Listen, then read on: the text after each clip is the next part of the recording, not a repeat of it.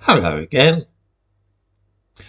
One of the things which I have discovered over the course of a long and exciting life is that there are certain key phrases which should always set the alarm bells ringing if you do not wish to be lied to and deceived.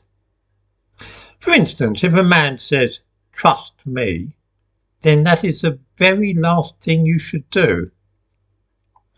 In the same way, when somebody tells you it's not what it looks like, then 99 times out of 100, it is exactly what it looks like.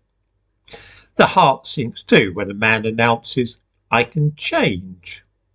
If he were going to change, and he would simply do so without feeling the need to tell anybody beforehand he's up to no good.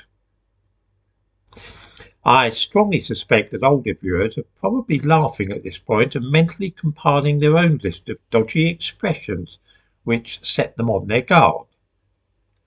Protestations of honesty, frankness, and the desire to be truthful and open are, of course, almost invariably the prelude to lies.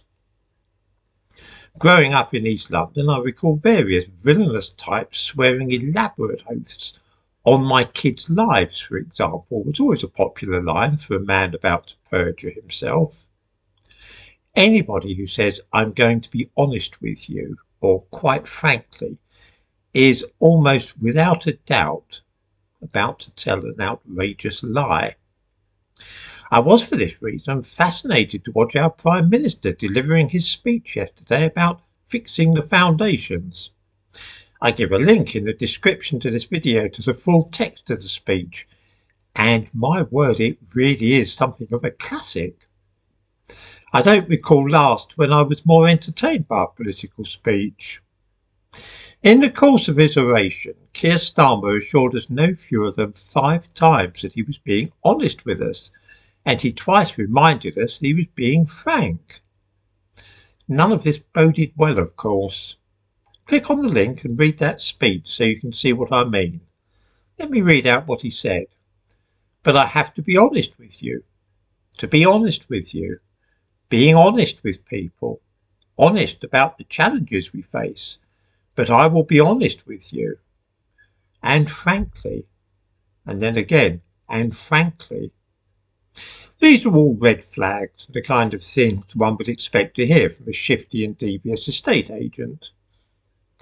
What about the substance of the speech itself?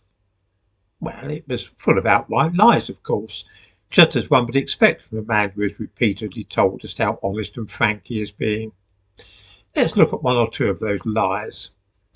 We've set up Great British Energy to create good jobs and cut people's bills. How he can possibly say such a thing after increasing everybody's energy bills by 10% and abolishing the winter fuel payment for 10 million pensioners, I do not know. Here is something even more astounding. I didn't want to means test the winter fuel payment, but it was a choice we had to make, a choice to protect the most vulnerable pensioners.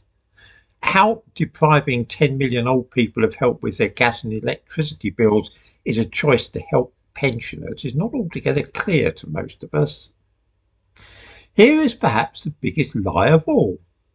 Starmer announced that he's going to be taking more money from us in various taxes with the uh, budget coming in October. And he frames it in this way I'll have to turn to the country and make big asks of you as well.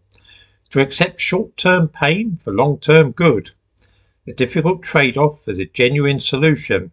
And I know that after all you've been through, that it's a really big ask and really difficult to hear. Well, I pay a large amount in taxes, but the Inland Revenue do not ask me. Instead, they send me demands. The Prime Minister is not asking anything of us. He is about to demand more of our money.